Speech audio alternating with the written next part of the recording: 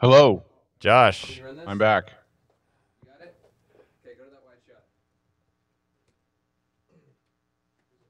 uh, yeah, right. it is. Oh, we're live. I have no idea what you guys have seen. I said so we're far. live.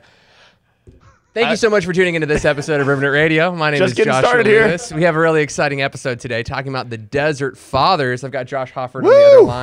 Line. It's going to be exciting. We're going to talk about who they were, what they believed, what was helpful, And where did what they was live? Not helpful. Where, who, where, what, when, and why. The desert. in this episode. It's going to be exciting talking about hot and sweaty desert. Speaking of which, did we leave the AC on? Because it is, I'm not feeling it. It is hot. It is smoky. Yes. Um, I have got a really cool. This is super cool. Deacon James is in studio with us uh, today. Y'all will know him as Barely Protestant. Really cool. Dawson is back here. He does the research of the show, and uh, they're just hanging out with us today in studio. It's been a lot of fun. Uh, sorry for the interruption for some of you who are live, but we've got a really, really cool episode today. If you're not familiar with Remnant Radio, we are a theology broadcast. Uh, we interview pastors and teachers from all over the world every single Monday night at 8:30 p.m. Central Standard Time. And due to Corona, we've had quite a bit more interviews. Uh, so we invite these guys on the show. We don't always agree with them. Sometimes we disagree with them. Sometimes we agree with them. But our ultimate goal is to challenge our presuppositions as we're looking at the scriptures so we can better understand God's word and better understand the God who has given us his word. To my left, your right, is the infamous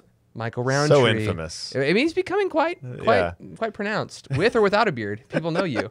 I know. Uh, you never know. Like if I just shave a little bit too much, the whole thing's coming off because it almost comes off just with one mistake. Yeah, I've seen him. I've seen him uh, uh, take a nap and sleep too hard on his pillow and wake up and there's just Yeah, no beard. there's nothing left, Yeah. like on one side of my face. So Tell us, Michael, about some of the shows that we've been producing and some of the shoes that sh- shoes that we have to look forward to. Okay, well, uh, last week was a packed week because it was my first week back from vacation. We had four shows. Um, we had William Lane Craig on Wednesday with Atonement Theory, talked about penal substitutionary atonement, has a book on the atonement uh, that just came out, and it was a powerful episode and uh, really robust. I mean, really dove into the subject. And so um, definitely want to check that out with Dr. William Lane Craig.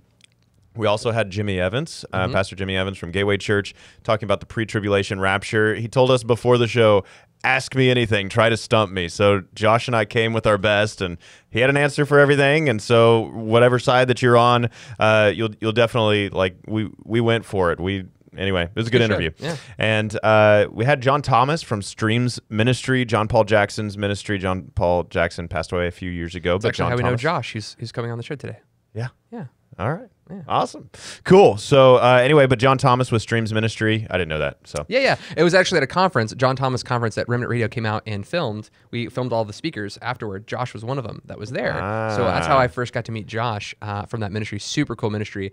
Uh, yeah, super super thrilled to have Josh on the show. Yeah. But but uh, finish that out. Sorry. I Okay. you got a couple more. anyway, well, coming up next week, uh, we have Monday night, knowing God's will. That's right. So kind of a frequently like as a pastor, that's one of my most frequently asked questions. So That's right. And then uh, tomorrow we have a small group of us. Dawson's going to be with That's us. right. Michael's going to be with us. Michael Miller's going to be with us, and Michael Rowntree may or may not be with us. I haven't, may haven't got a con- confirm for confirmation, but we're going to be talking about authority, uh, specifically like the kind of ways that authority works out throughout the church. Some churches hold to ecumenical agreement. Other churches will hold to like a, a papacy, like what what does the priesthood say about authority? And other groups say, hey, Scripture alone is our authority. And how does that flesh out in the Protestant Reformation? How did that come about? And then how do we look to the Protestant Reformation today to inform our life and authority? So it's going to be a really cool episode. We've been cranking out episodes as if our salvation depended on it. It's been it's been pretty intense. Yeah. I've been thrilled. So you guys make sure to subscribe and like because we're interviewing everybody up in here. Hide Oh, your, yeah. hide your Up in here. theologians. Hi- hide them all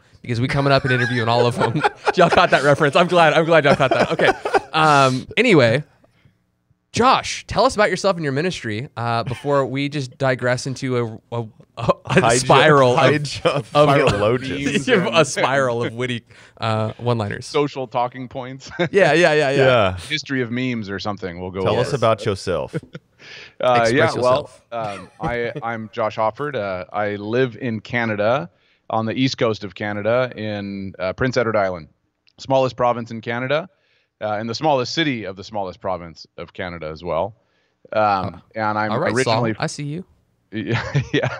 fourteen thousand people. We moved from well, we moved from Vancouver, which is a large city, to Summerside, Prince Edward Island, which is almost one of the smallest cities in Canada. Does anyone live there?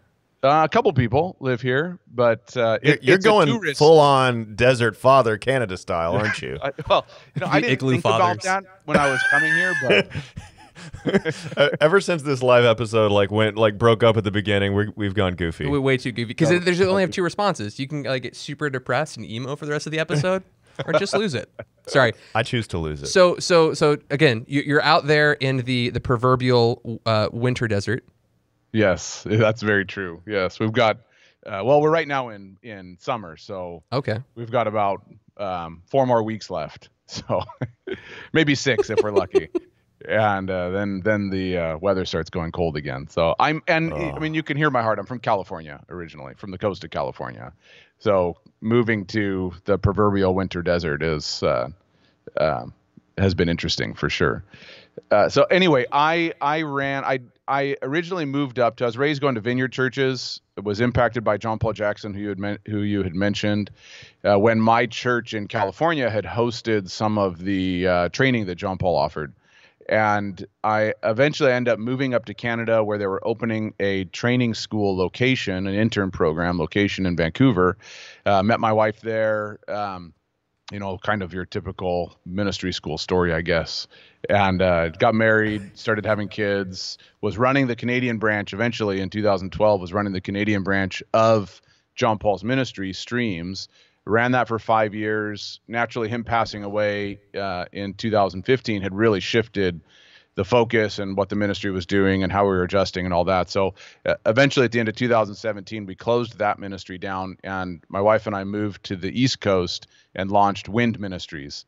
Uh, so that's presently, um, as of 2018, we launched Wind Ministries, and that's the ministry that we run. And we do anything from, I mean, talking about the early church fathers. Um, I, mean, a significant portion of what the ministry is based on is the teachings of the Desert Fathers. And so I I studied through 52 um, individual Desert Fathers and then wrote articles for them and and just trying to understand how they practiced the spiritual life. That was really the some of the stories and then how they practiced the spiritual life. So we recently launched a podcast called Silent Fire, where um, I'm my friend, an Anglican priest, and I sit down and we talk about the how I grew up as a charismatic and how he grew up. He grew up Roman Catholic and then eventually became Anglican, um, and just how our our journeys of understanding life in God and experiencing God, where those places intersect. And we're just trying to have conversations with people, um, uh, primarily centered right now in Eastern Canada, on what does it look like to experience God and how do we talk about that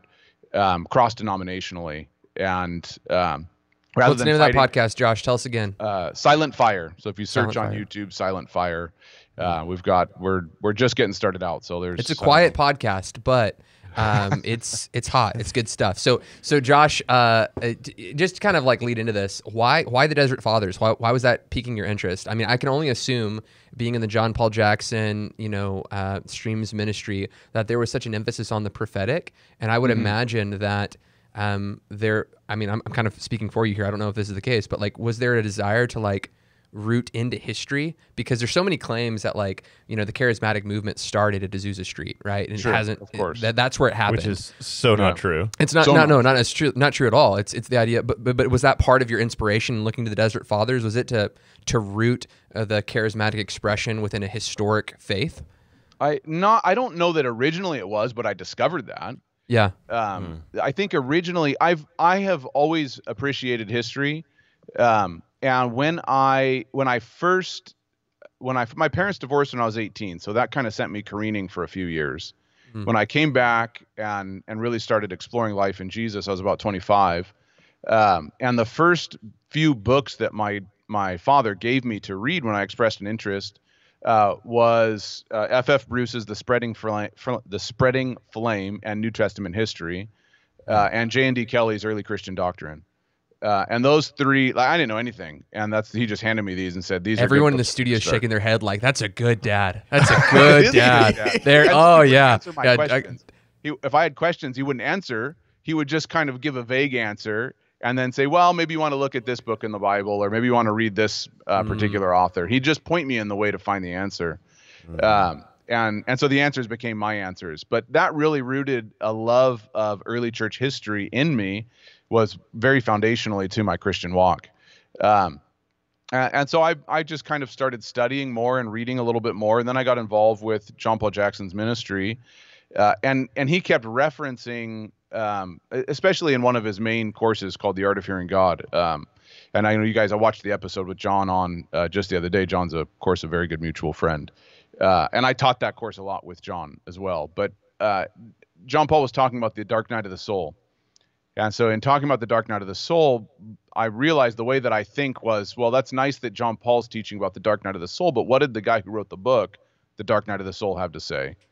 Uh, mm-hmm. So I, I went and I picked up the Dark Night of the Soul book by John of the Cross, and then just kind of started exploring some of this contemplative literature, and over time kept hearing references to the Desert Fathers, uh, and eventually picked picked up, um, and I can flash this book here for you, the Sayings mm-hmm. of the Desert Fathers, which is kind of the um, traditional collection of wisdom sayings by the Desert Fathers, and uh, and and started studying more and more early church history as I as I dove into the Desert Fathers as well, um, okay. and saw just how rooted. Well, the, the language I saw being used by the early church fathers when it came to the spiritual life and the Desert Fathers, I was just going, I've experienced that. Yeah. That makes sense to me and and then of course I started reading stuff like Augustine's on the Trinity and and uh, Athanasius on not on not three gods and and stuff like that, and going, my goodness, how come how come I was never taught this stuff growing up? How come this was never part of my church culture? Because it was it. Mm. I mean, I love vineyard churches, but it was very much that Pentecost started at Azusa Street. That's right. And right. uh, tongues and all that kind of stuff, and and I just found, found such a robust expression of the spiritual life and and especially the flow and operation of spiritual gifts um, in the early church and then throughout church history that I thought um, we've just been missing something. And huh. so the initial the initial push to start studying and writing about the Desert Fathers was just to help. I was hoping to introduce people to something that I'd always missed and and had found. You know, I don't want to say later in my walk with Jesus because it's been 10 or 15 years, but that I I um, I wish I would have found earlier. Huh. Uh, or at least would have known, hey, this this didn't just start 100 years ago, but this has been part of common Christian experience throughout history. Hmm. So I've I've heard you mention several things, each of which could be its own jumping in point. We I've heard you mention contemplative prayer. I've heard you uh, heard you mention uh, just prophetic and spiritual gifts. Uh, we've talked about the dark night of the soul, and then prophetic and spiritual gifts. So there's lots of jumping in points. But before we go too deep, uh, just for our viewers who literally don't even know who are the desert fathers? Why am i watching this podcast? What it, like okay desert and fathers. Like i guess these some guys went out to some des- desert and like prayed a lot and prophesied to each other. Like help us understand who these people are. Yeah great question. Uh, the desert fathers the the uh, part of the early church fathers um, and the desert fathers essentially you're looking at a time frame from the third century to about the sixth century, though there's some leeway given there. Uh, and generally, the main catalyst is looked at as Anthony the Great.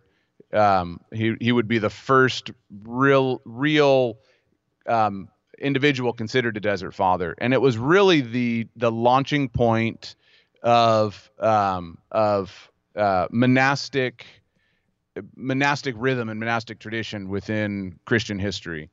Um, so essentially, the the beginning story: Anthony the Great, his parents pass away.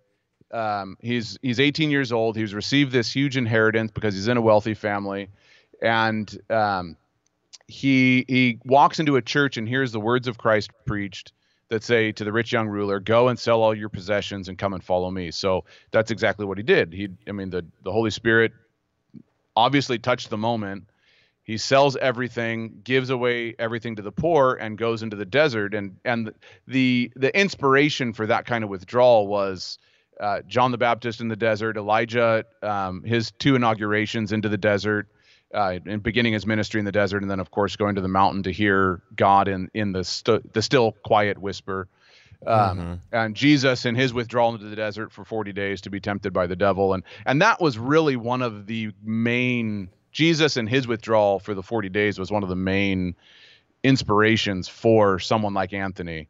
Uh, Hmm. Anthony spent um, uh, somewhere between 20 and 30 years. I don't remember the exact number off my off the top of my head.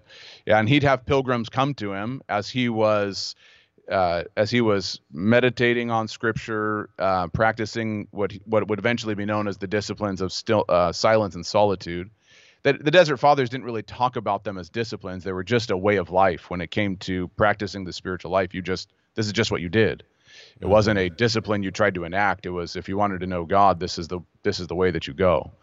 Um, and uh, and so people would come to him for wisdom because he became renowned for wisdom and and his ability to give instruction and guidance. Uh, and then on top of that were some of the prophetic utterances that he was known for, uh, and the reputation that if he prayed for you, something would happen. And So- so, people just go ahead.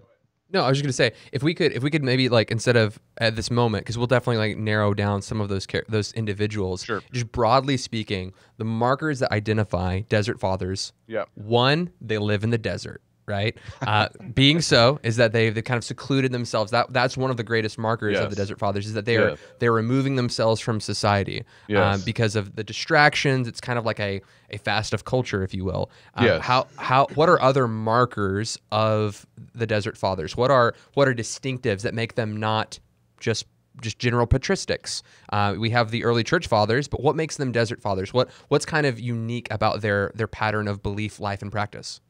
Well, the the I mean the unique one is just what you said is the withdrawal into the desert. Um, the the withdrawal into the desert was uh, generally centered around yeah, Egypt, around Turkey, around Jerusalem.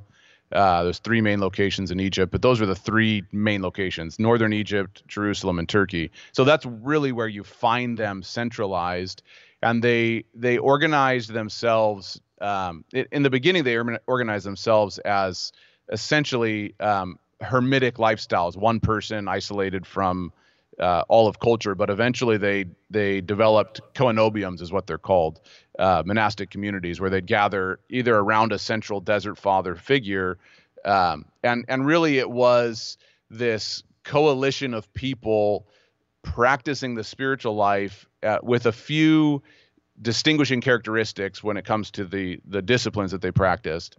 Um, but a lot of it had to do with the with, the withdrawal, with the isolation for periods of time, and with a focused gathering around communion and church expression and things like that. Um, but the the three main locations, the the only reason people stopped being called the Desert Fathers is because the teachings of the spiritual life really became broadly disseminated over time so much so that you see uh, eventually someone like Gregory the Great, who's kind of on the cusp of being called the Desert Father, even though he never practiced desert withdrawal, but he carries the same ethos and the same principles, uh, and he he eventually is the leader of the whole church uh, at the near the end of the sixth century. And um, while he never withdrew, he always he he essentially practiced daily solitude, daily silence. Uh, wrote the one of the um, the pastoral rule uh, one of the great books for um, church leadership for that influenced people for hundreds of years afterwards. Uh, so you start to see their teachings disseminate further and further and further, uh, and now you have a a, um, a consistent expression of monasticism throughout Christian history. Though that did shift. I mean, of course, you see uh, monastic expression later that was about.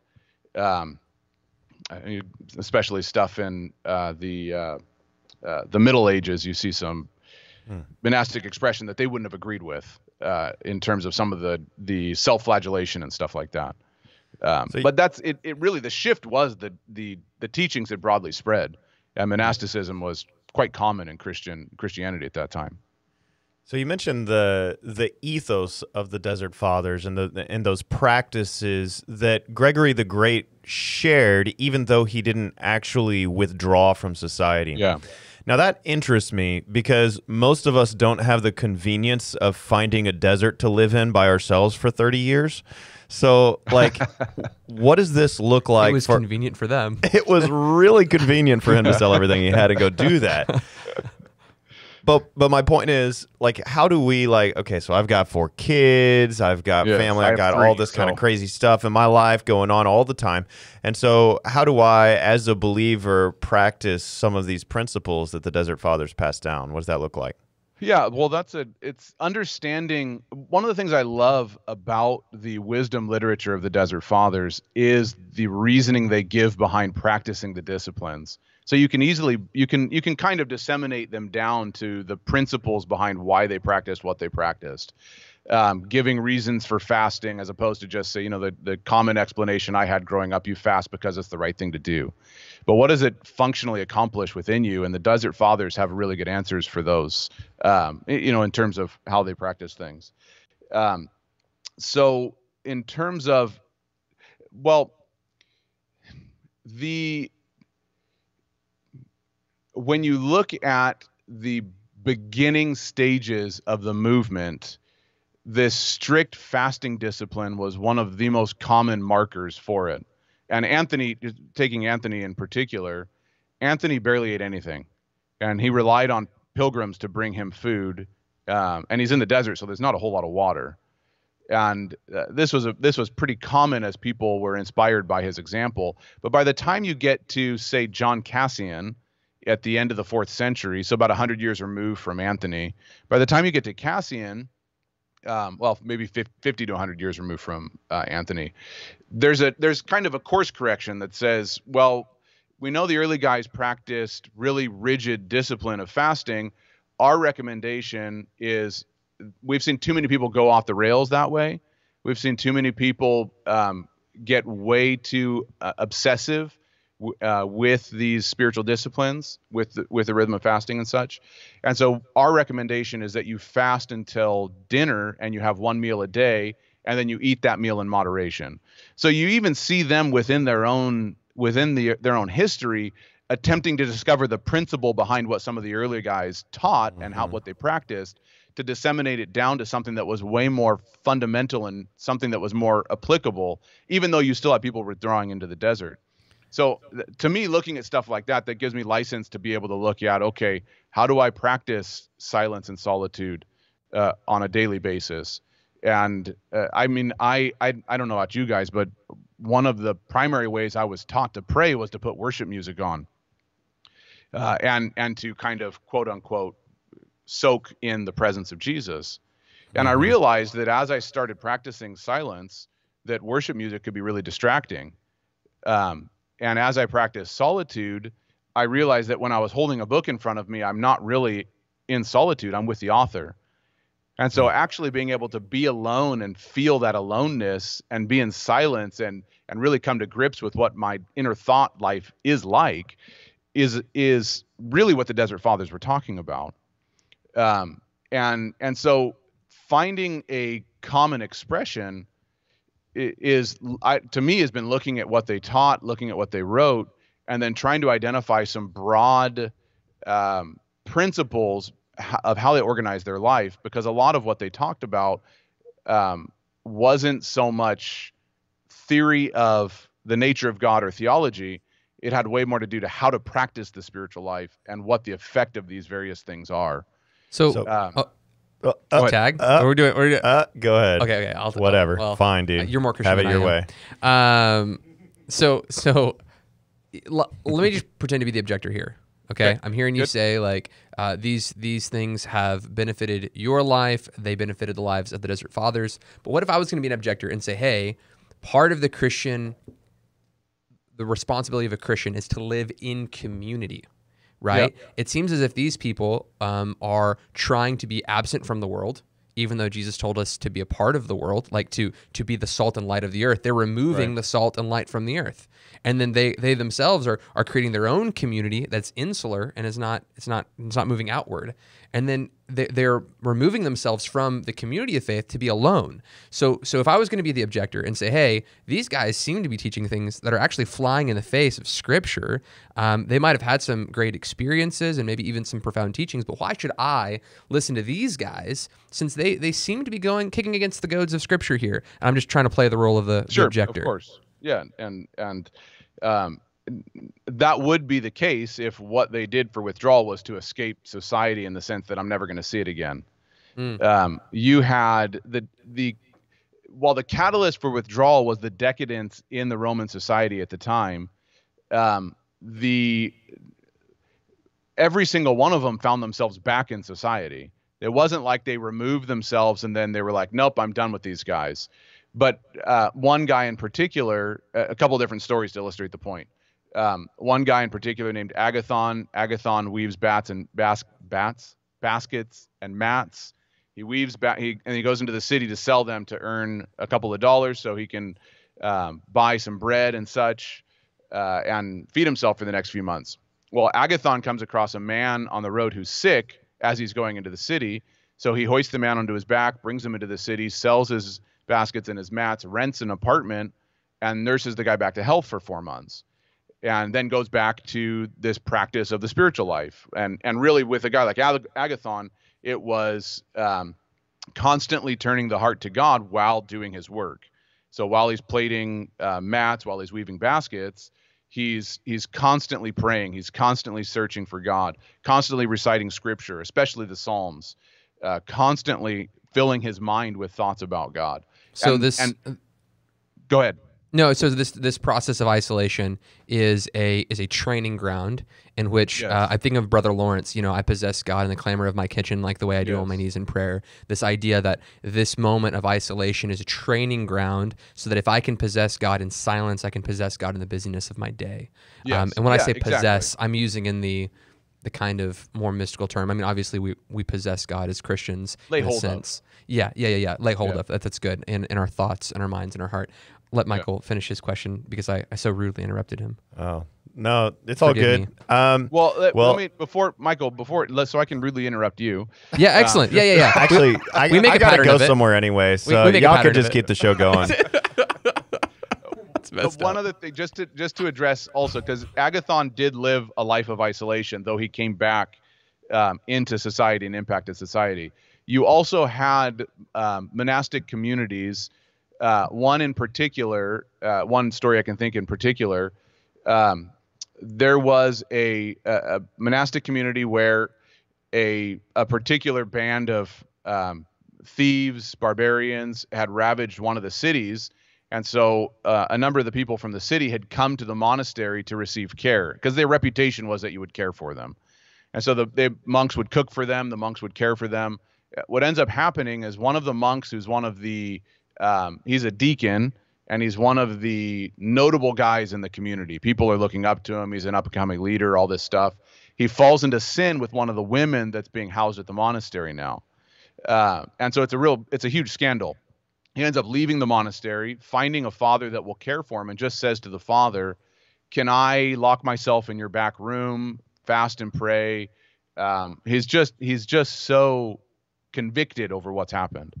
So some time passes, and a um, uh, uh, a drought had hit the land, and the neighboring villages, knowing that this drought was going to ruin their next crop, decided to go to the desert fathers in this particular community and implore them to pray to God that God would send rain. Because again, the desert fathers had the reputation that God would listen to them. If they prayed, something would happen. So it was never like they were totally isolated and removed, that nobody was impacted by them. Uh, and and th- as the story goes, the desert fathers come together. The fathers of this particular community come together, and they they discerned that the Lord. Uh, one guy says, "Well, Lord spoke to me. We're to find this old man or this older brother that fell, not not older, but fell some time ago, uh, and they don't know where it happened to him. So uh, they end up searching for him. They find him, and they tell him if God has said that He'll only heal the land if you pray. This brother that's been hiding out in the back room, fasting and praying and just repenting for having fallen into sin, sin with this woman. Uh, and so he prays, the land is healed. And the last statement that's made, which is one of my favorite statements in the Desert Fathers, is uh, as many people that were scandalized by his fall were blessed by his restoration, which I think, look at that's another principle of restoration, but that's another point entirely. Uh, but there's always this, there's always this, uh, even, I mean, emperors were seeking them for counsel and advice. They'd write letters to, to some of the more notable figures asking for, can you help me on this? Can you, I mean, even emperors would bring whole, whole groups of people to come, um, receive wisdom from the desert fathers. So there was always this interplay still with culture, even though they had removed themselves from society. Okay. Uh, I want to come back to the silence thing that you talked about earlier. So there's silence and solitude. So when you're being silent before the Lord and you don't have a book or you don't have worship music going, just practically, what what do you do? Are you thinking about the Bible? Are you thinking about the scriptures? Are you talking to God? Or are you just literally being silent and choosing not to think about anything? What does this look like for you? Yeah, what did it look great- like for the Desert Fathers? Yeah, that's a great question. Um, the Desert Fathers were, they generally practiced short prayers. One of the guys says, um, if the shorter the prayer, the more you've recognized your desperate need for help. And so when your house is on fire, you don't give a long winded diatribe about help. You just go, help. And, Mhm. and so their, their, their point wasn't to have long crafted prayers. Their point was to have prayers as crafted by scripture like i said a lot of it was based in um, reciting and repeating the psalms and praying through the psalms um, the the some of the later cassian when he laid down some of the rules for the monastic life cassian had 12 it- to to say these 12 different psalms repeatedly throughout the day um, and so the the those times of silence were always infiltrated by scripture and by prayer that was um, inspired by scripture. So for me personally, when I'm sitting down um, to silence, a lot of times I, I sit down, I have my my I'm have my coffee. So I don't know, you know, drinking coffee uh, makes some noise. Yeah, praise God. That's right. Um, and uh, I usually just start by whispering the name Jesus and thinking about the name Jesus. And one of the one of the de facto prayers of the Desert Fathers and the early church fathers was uh, rooted in the prayer of the publican versus the prayer of the Pharisee was God have mercy on me a sinner.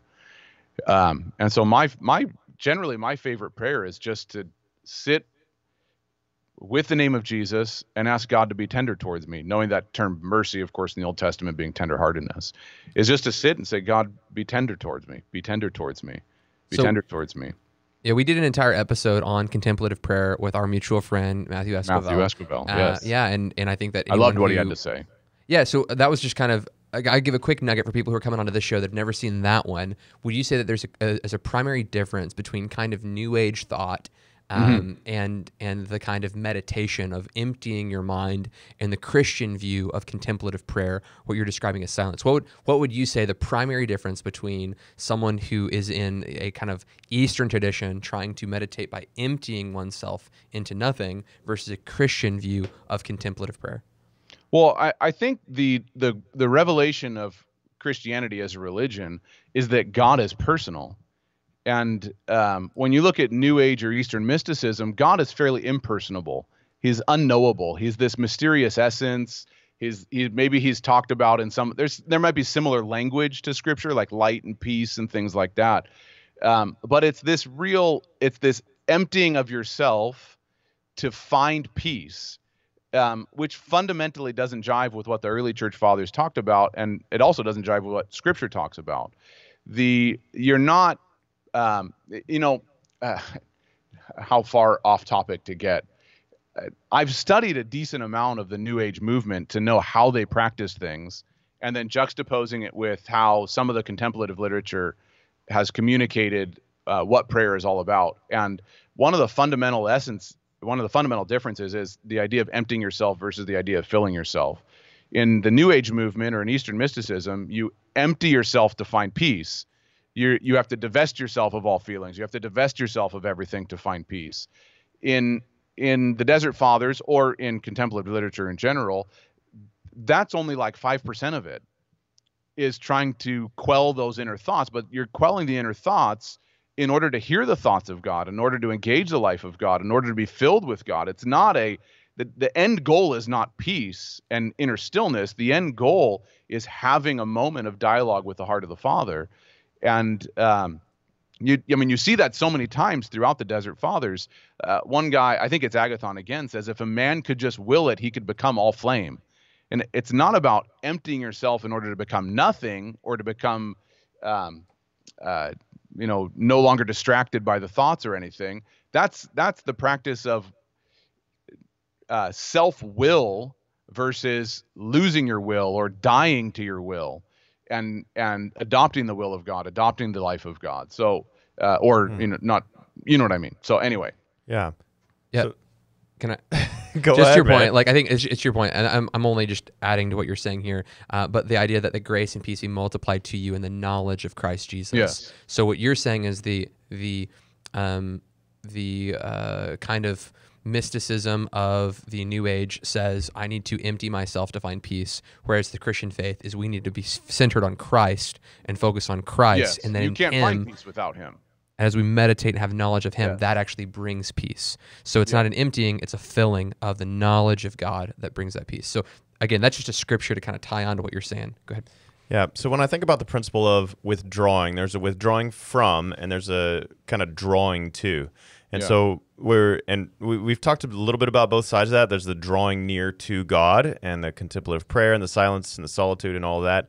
Uh, but then you also talked about the way uh, in Roman society and the decadence of it, and and just kind of everywhere um, that there was uh, that there was a withdrawing from that, and so uh, I'd I'd like for maybe you to speak into that for a moment because. Uh, for us in a contemporary setting, I mean, we live in like the, I mean, okay, so in the West, it's super wealthy and super decadent. What does it look like for us to withdraw from this?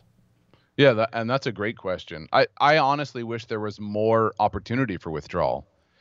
Um, and I and I find uh, I was looking for a place. Uh, maybe this was about a year ago, uh, to just go and withdraw from the the daily cares and all that kind of stuff. And I ended up at a monastery that was about an hour and a half drive away from me, mainly because I couldn't find anywhere else. Um, and it's not so much that I have a particular affinity to to a whether it's a Catholic monastery or an Orthodox monastery or whatever. It's just that the the opportunity for withdrawal is is so it's difficult. I mean, driving 20 minutes in any direction, you are in another town or another city. Most of the places that you live, that I've lived anyway. Well, Uh, so if I could interrupt you for a moment, because I'm kind of thinking even less about a geographical, like a time place centered withdrawal, because there is that, you know, like maybe somebody's got a cabin and the, you know, that they can go to or a friend's cabin or something like that. Yeah. But even the principle of it, I, I'm thinking of Revelation 18 when uh, when it speaks of the judgment upon Babylon, and it's speaking specifically of sort of economic Babylon, and it Mm-hmm. says, "Come out of her, O my people, lest you share in her sins and in her plagues." Right. And and so I- I don't know that that means necessarily just geo- geographical, but also Right. spiritual. And so when you talk about the sort of ethos of the Desert Fathers, I, I mean, on one hand, I do think it's important that we do find a time and a place that we can get away sometimes for extended prayer and contemplation. I think that's super important for all of us for our spiritual health. Right. Uh, but then there's kind of like the day in, day out. What does it look like for me to come out of Babylon, so to speak? Yeah, well, that uh, that's a great lead into probably the underpinning of um, what the Desert Fathers taught the spiritual life was all about, and it's really, and you'll find them often talking about this this idea of attachment, um, attachment versus detachment, or not versus, but attachment and detachment, and and the practice of, say, for instance, fasting, um, or or no, let's go back. Actually, let's go back to solitude the practice of solitude was to show you all the relational things that you were attached to in order to um, reorient your attachment to the heart of the father. So when you're in solitude some of the first things you do is you start thinking about the people that you want around you. Yeah just practically speaking. Um, you th- or you think about in silence you think about the um, the the tasks that you have the things that you need to complete. Uh, and oftentimes those things can be uh, connected with, uh, for instance, I remember one time um, I was struggling with thinking, am I a good father? Am I not? I have three killed, three children.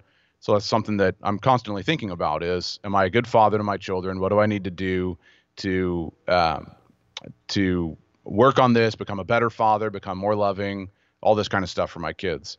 Uh, and so I under, I really understand, um, the seven, five, and two are my kids, so I understand the the difficulty in finding a place of solitude and silence.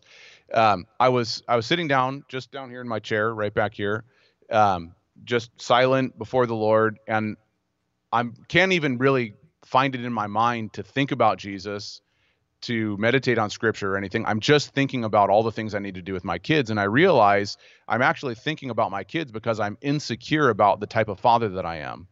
So that mm-hmm. in those moments of silence, some of the thoughts that had been bubbling underneath the surface begin to percolate and I can start to see, oh, this is actually some of the stuff that's driving how I think right now. Mm. And then I can bring that to God in that moment practically and say, God, what do you think about me as a father? Um, how, what do you see that I can change? How can I how can I adjust? How can I grow? So those that moment of silence became a really rich moment of hearing the Father speak about me as a father. Um, but it was in that it was in that silence when I didn't have anything going on. I think the kids were um, I was either early morning or the kids were gone, something like that. Um, that that some of those insecurities that had been simmering underneath started to bubble up, and I was able to actually address them. But when when we're surrounded by noise, it's so difficult to even process that. I can't tell you how many times my wife says, "I I know all these things, but I just don't have a, I don't have a moment to actually sit down and think about them and and think about how to apply them and how to process through them." And mm. not having those moments of of silence and solitude um, make it very difficult to see what what it is that's bubbling under the surface. And then for the desert fathers, those things that are bubbling underneath the surface are generally the things that you're attached to. And I kind of see that in the uh, the parable of um, the wedding feast when they go out, they say, you know, bring in uh, bring in the people, and then one person says, "Well, I've got a new tract of land, I can't come in." One person says, "I've got a new oxen, I can't come in." One person says, "I've just been married, I can't come in."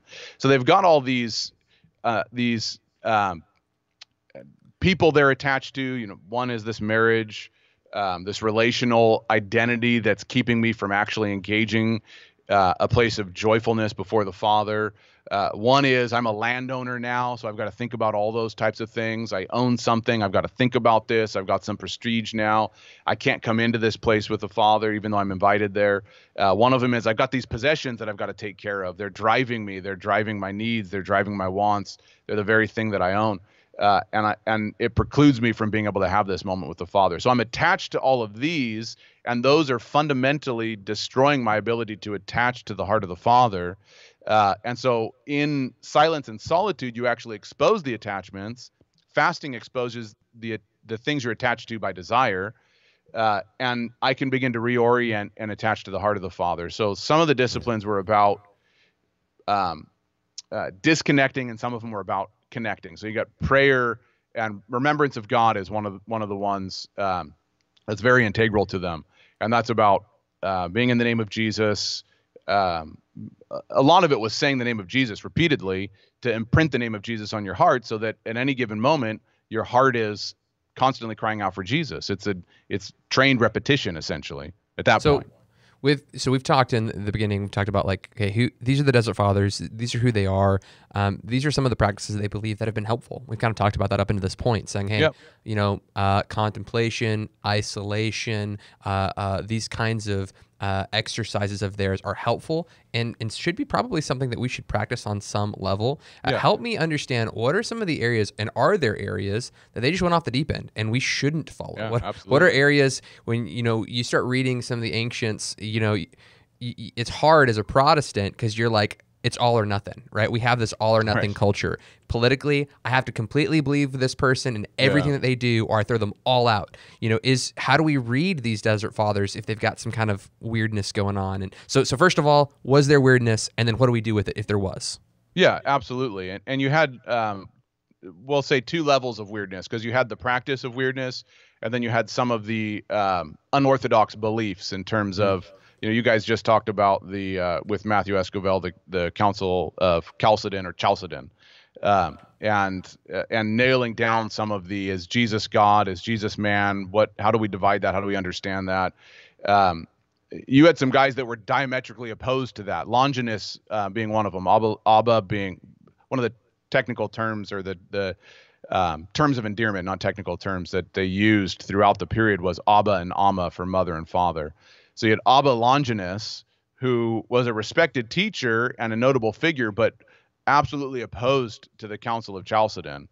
Um, and uh, so you've got some guys that were on the heresy side, never recanted his her- heretical beliefs, firmly opposed um, the uh, and and some of it's funny when you read some of the the stories about their life because the disciples that wrote their stories wanted to uh, venerate their father they would write about how evils the evils of Cal- of Chalcedon they the evils of um, not understanding the nature of Jesus all this kind of stuff. Those are you know to the victor go the spoils because those are the guys that aren't really remembered. Um, yeah so anyway you had some of the guys that were on the on the losing side of the theological debate. Um, there's one story where uh, some some people that are involved in the Arian belief, which hadn't quite been condemned, it was in on, in the midst of being condemned at this point. Um, and uh, Abba Sisoes, who was the disciple of Abba Anthony, uh, he's he's having this dialogue with these Arians, and he tells one of his disciples, "Well, just go get Athanasius's book against the Arians, and read that out loud." And so that's their whole way of refuting the Arians, who are mona- who are monastic practices uh, that had come for wisdom.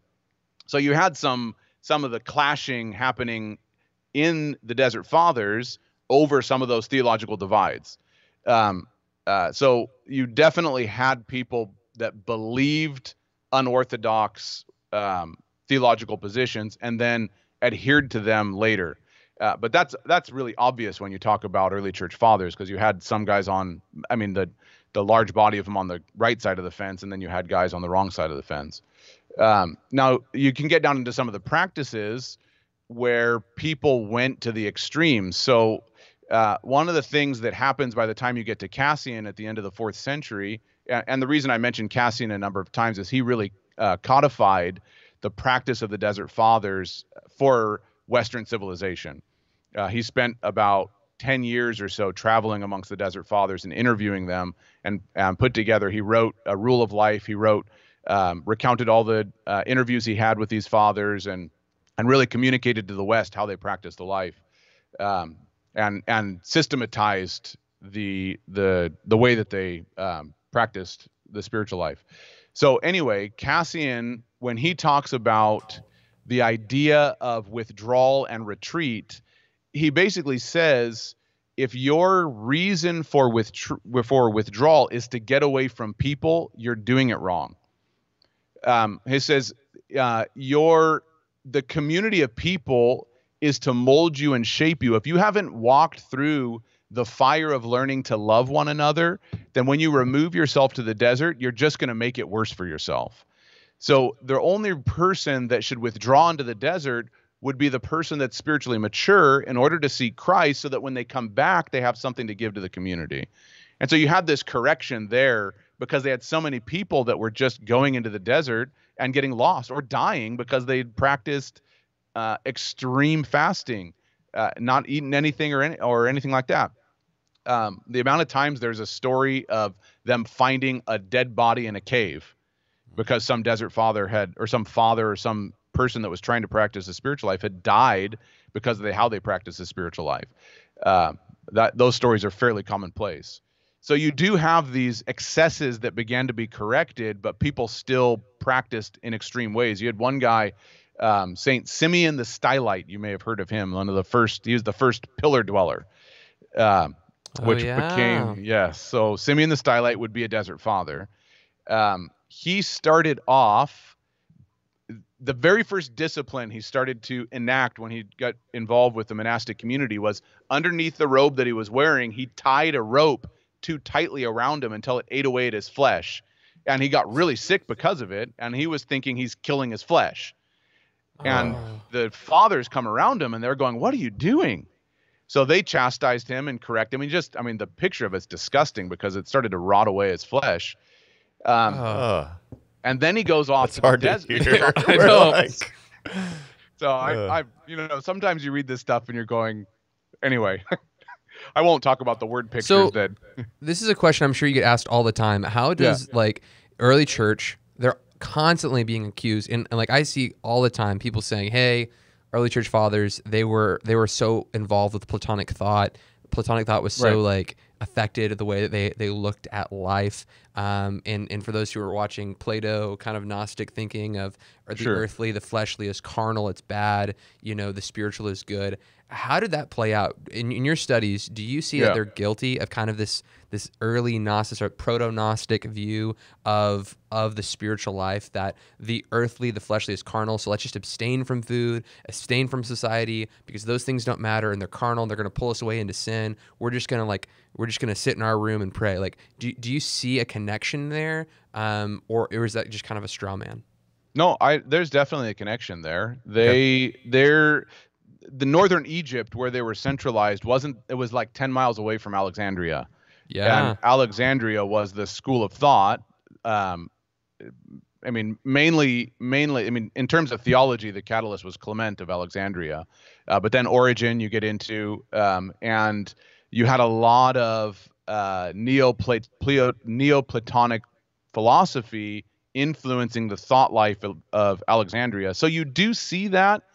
It, the problem with nailing down the a theological conception of the Desert Fathers is one, like I said, they didn't write a whole lot about theology. They just wrote about. I mean, like I said, this is the the main bulk, and it's just it's just short little sayings, like if you can even see that if it focuses on go, it. It's just yeah. short little Mhm. sayings. They're not really. There's nothing really long in the stuff that they're talking about. And even Anthony, with Anthony the Great, the the biggest bulk of literature that we have for him is one in here, and then two in a series of I think it's 13 letters he wrote to his disciples. So It's these are not a lot desert tweets. These aren't treatises. they're these are like these are Yeah. these are desert tweets. Yeah, That's what you're and some of saying. them are so 140 characters. 140 characters or less, no more. So, like uh, Agathon, he said that if I could exchange my body with that of a leper, that would make me happy, for that indeed would be perfect love. Oof. You know, that's a great Ah. tweet. Yeah, yeah, yeah, yeah, yeah, yeah, yeah, yeah, yeah. No, I mean it's it's powerful for sure. It is It's very a Christian. powerful statement that makes you to makes you think, and that's one of the things I love about them. Um, and so, but you do find, especially in in, I think you really find it culminating in Maximus the Confessor, um, is this real heavy-handed. The body is bad, creation is bad.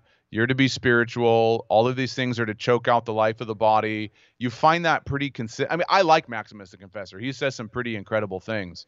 Um, and you can't really fault a guy that had his tongue cut out and his hand cut off, um, all for defending Orthodox Trinitarian theology. So it's hard to hard to condemn a guy for that.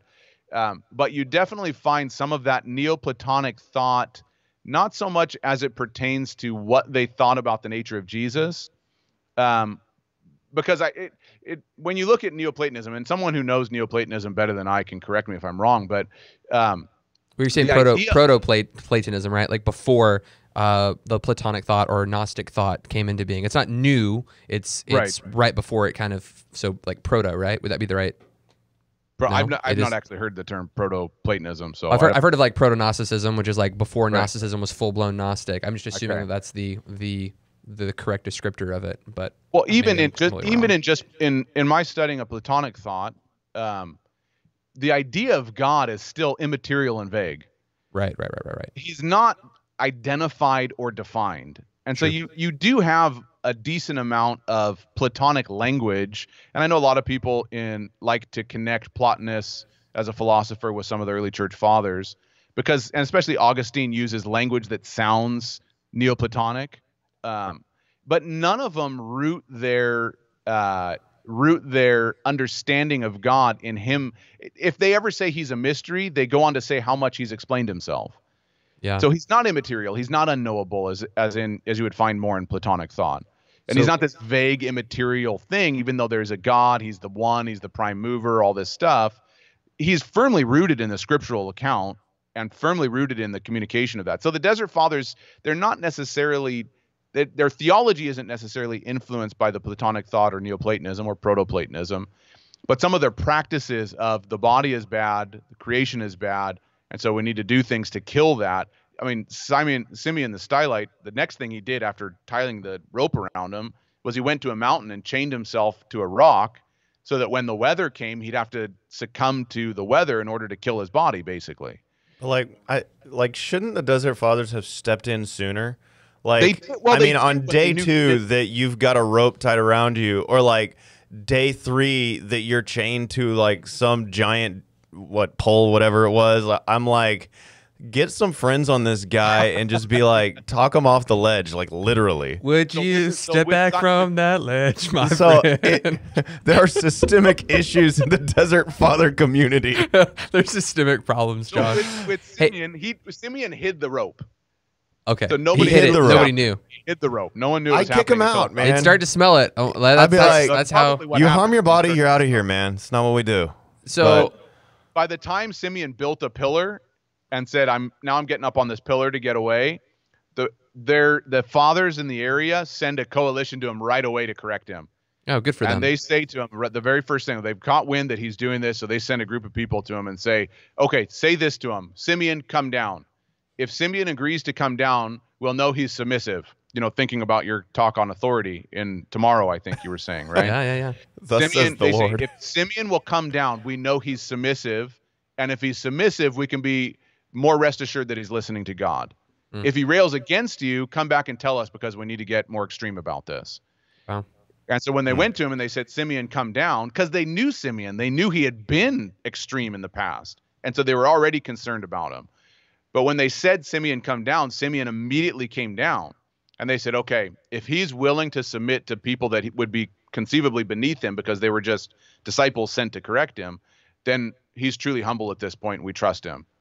Um, Get back up on that thing, Simeon.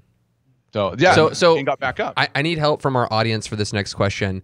Uh, like these names, like Maximus the Confessor. I would like uh, names. I would like you guys to name uh, Michael and I both uh, with some kind of ridiculous satirical name, like Josh the Ignorant or something. Like really get creative with it, and we'll vote on Facebook. like this you really week. want you want it to be mean? Oh, not mean necessarily, but satirical for sure. Josh the Terrible. How about mean, how about Josh? You could be right in line uh, with Abba John. He was John the Short.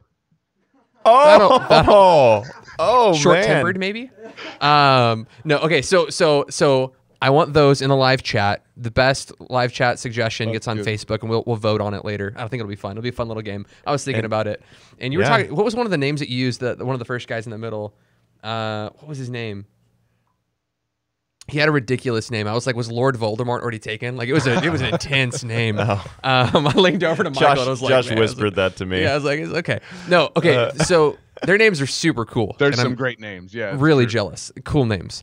Um, hey, closing thoughts. This is one of the things that we do at the end of all of our programs. Is we ask our guests to come on and say, "Hey, uh, what are some thoughts? If people are walking away, what are things that they want uh, really to dig into the Desert Fathers?" And I would want you in this kind of period as well to remind people about these things. Uh, they're super, Oh, yes. super cool. I highly recommend them. I think they're they're really neat. They're kind of devotional books that Josh wrote. So I'd actually got, ask you guys to kind of uh, uh, pick those up. Shoot me a link so I can put that in the description of this video. That would be super Yeah, helpful. I will. I will. Um, They're- I've already been called Saint Michael the Bearded. Yes. How, Saint Michael the de-bearded would be pretty good. The That might be the de-bearded. Uh, That might the, be- as- the aspiringly bearded. okay, Th- these are going to be good. I'm really looking forward to these. Okay, uh, Josh, tell us uh, uh, what is one thing that you really want everyone walking away with? Hey, uh, make sure that you you study this about the Desert Fathers and, and apply this to your life because it will benefit you. And then tell people how to get in contact with you in your ministry and pick up some of these books and materials and resources that you've produced. Yeah, well, I mean, specifically with those books, my whole goal in writing those was to make it simple to engage the life of uh, what the early church fathers taught. And I, I think as a final thought, I'd just say um, take a moment to recollect on your life in God. Take a moment to look at the types of things that you implement on a daily basis to know the Father's heart. How are you practicing knowing His heart?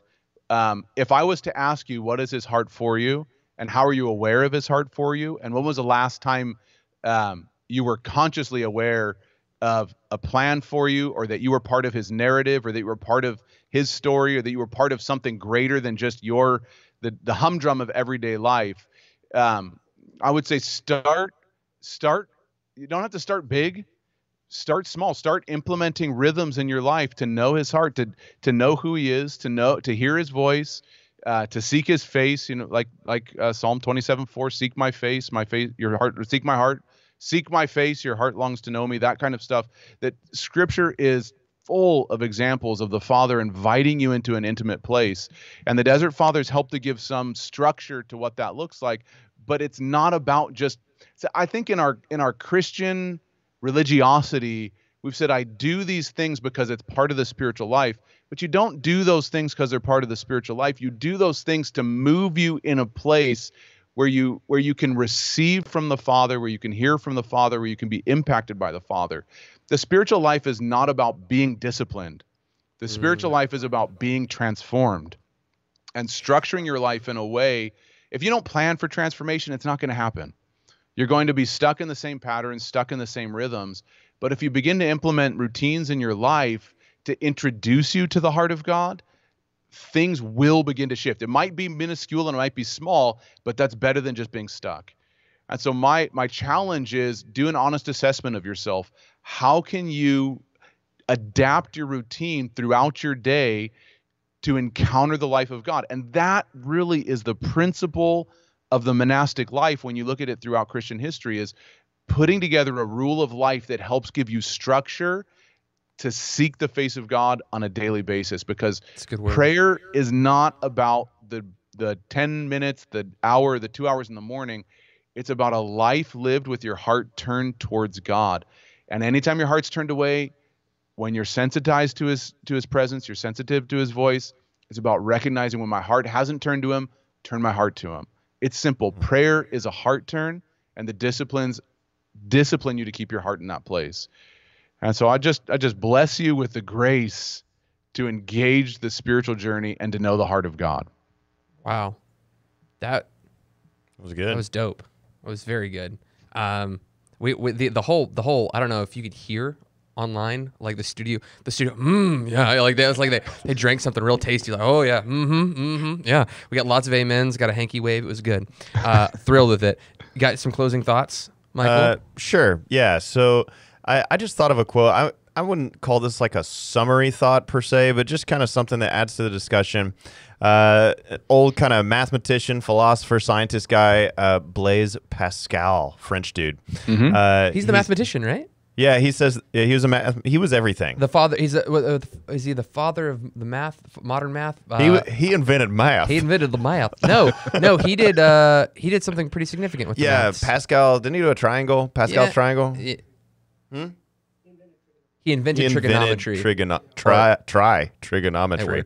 There Sorry, you go. You. So, uh, Blaise Pascal, he said this all of humanity's problems stem from man's inability to sit quietly in a room alone. Yeah. Wow. And uh, I saw that kind of being tweeted around and passed around during, especially when coronavirus and the quarantine really started. Is mm. and there are all these studies coming out that were like people are terrible at sitting quietly in a room alone, and then people would be like, Pascal says you're terrible. Look, you know, and uh, and honestly, I'm not making light of the whole mental health crisis, which is super, mm-hmm. super real yeah. and real. Uh, devastating.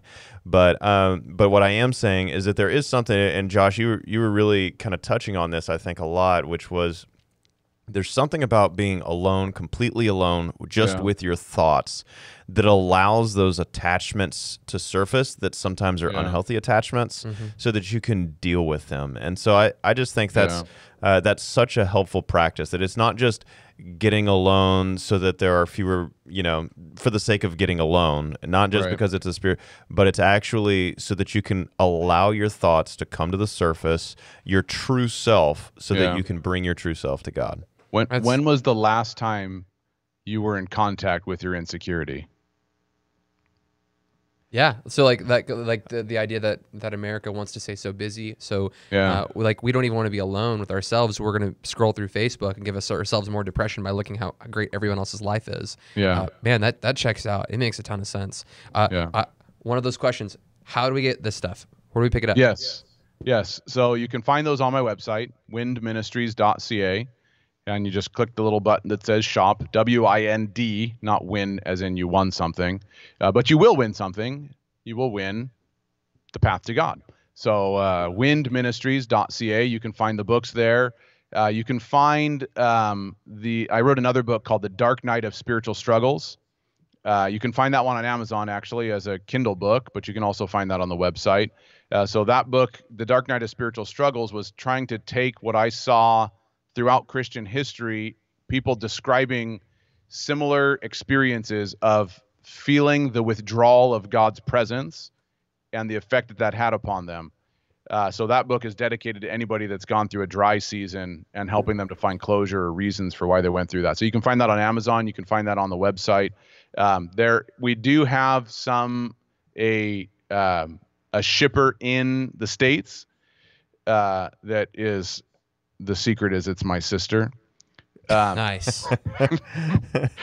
so, so, so, but there's only a few left to be shipped in the states. The rest of them okay. are in Canada, um, and so, but you can get them on the website there. Uh, you can find you can find the writings on the Desert Fathers at the thedesertfathers.ca. Uh, so the desertfathers.ca that'll show you all 52 articles that I wrote about the Desert Fathers. Um, those would work as great devotionals too. But those are seven day devotionals designed to introduce you to each day a principle that one of the Desert Fathers uh, uh, touched on, talked about, um, those types of things. Impactful statements coupled with scripture, with some short writings and some prayerful thoughts to consider afterwards. Uh, on the website, I think they're ten dollars. Canadian. Yeah, they're not they're not expensive. Yeah, no, they're not. Uh, and I actually we were doing if you're in Canada, we are we're still doing it because as long as the lockdown lasts, we're doing free shipping. So cool. if you buy the bulk of if you buy all five of them, you get the last one free. So it's 40 plus free shipping. Um, in Canada, I can't afford to do that to the states. I heard that. No, okay. Hey guys, thank you so much for tuning into this episode of Remnant Radio. We're on tomorrow uh, talking about authority. Uh, then we've got other episodes uh, next week. Uh, the will of God. Uh, we're discussing that. I'm going to be in Virginia. I'll be the one skyping in. It'll be a blast, man. I'm looking forward to it. Uh, you guys be praying for us as we are traveling throughout the states. Uh, make sure to subscribe to the channel, hit the like button, uh, and if you have any subjects that you want us to cover in the future, you can actually email me at uh, media at theremnantradio.com. That's media at theremnantradio.com. A lot of people have been uh, messaging us on Facebook, which is fine. Uh, but man, if you want to, hey, we want this guest to come on, we want this subject to come on, we're always open and interested in our audience's suggestions. So you guys actually listen to more people than we do. Uh, so